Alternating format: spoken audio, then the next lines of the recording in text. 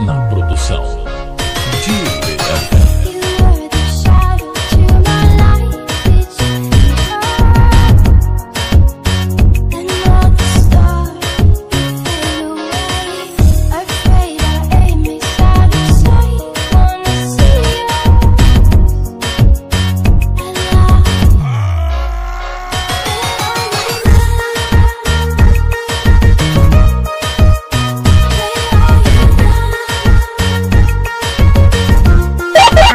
Amigo, Daniel Máximo é gostoso.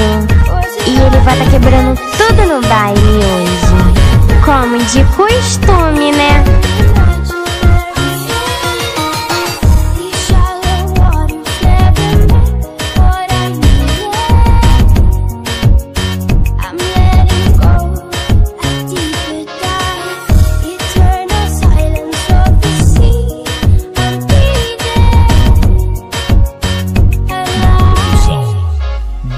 Yeah.